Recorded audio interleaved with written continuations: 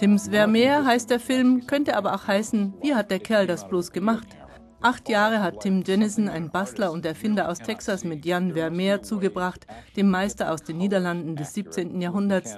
Berühmtestes Bild, das Mädchen mit dem Perlenohrring.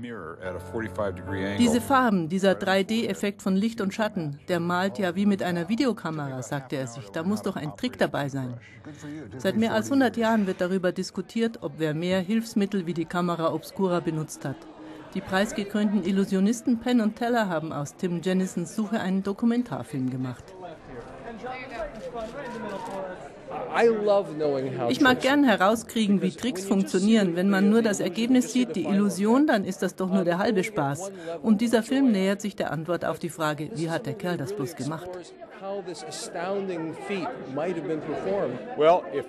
Nun, wenn meine Theorie stimmt, und sie hat ja wirklich gut funktioniert, dann bedeutet das, Vermeer war eine Art Außenseiter als Künstler, ein Technikfreak, sowas wie ein Erfinder. Wir wissen ja auch, dass er sehr, sehr hart gearbeitet hat, wirklich hart. Jedes Bild dauerte sechs Monate, er hatte also eine sehr langsame Technik, aber das Ergebnis war perfekt.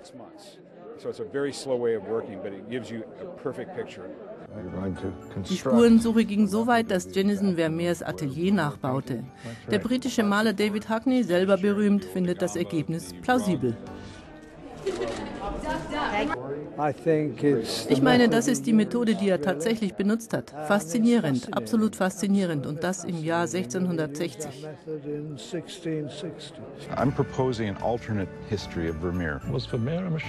Wie der Kerl das bloß gemacht hat, das Mädchen mit dem Perlenohrring kennt das Geheimnis.